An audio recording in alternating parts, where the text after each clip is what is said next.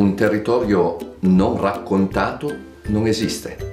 E allora grazie a Vita Diocesana che racconta questo territorio e racconta la nostra Chiesa, la fa esistere pienamente. Grazie di cuore.